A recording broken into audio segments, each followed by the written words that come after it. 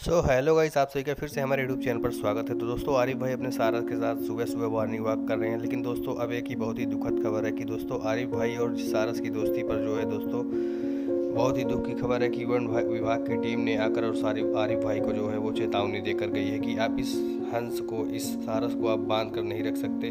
लेकिन दोस्तों आरिफ भाई ने इसे कभी बांधा नहीं। तो दोस्तों आप लोग वीडियो में बने रहिए और देखिए आरिफ भाई को वन विभाग की टीम ने आखिर क्या कहा। आप जो है बहुत ज़्यादा उसके चक्कर में रहे लेकिन यहाँ बहुत सारे तो है। आज तो एक बात तो वायरल हो रहा है। आज तो हाँ वो भी कोई पाले ऐसे तो नहीं पाल तो कोई सकता ही नहीं।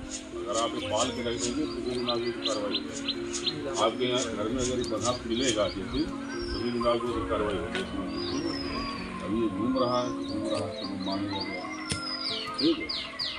इसलिए आप इसके विशेष ध्यान रखिए क्योंकि इससे आपको नाम दिया होगा इससे चाहे एक ड्यूटी आप देंगे एक स्टाफ जो लोकल यहाँ पे इंचार्ज ड्यूटी तब तक लगाइए कि यहाँ पढ़ रहे आते तो सुबह शाम।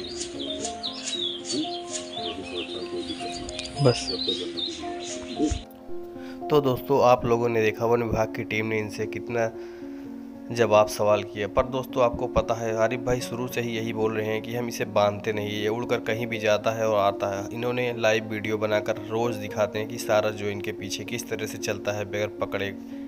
जहाँ एक तरफ़ दुनिया इन्हें सराह रही है तो वहीं दूसरी तरफ़ वन विभाग की टीम ने इन्हें टेंशन दे दी है। चलिए, कोई बात नहीं।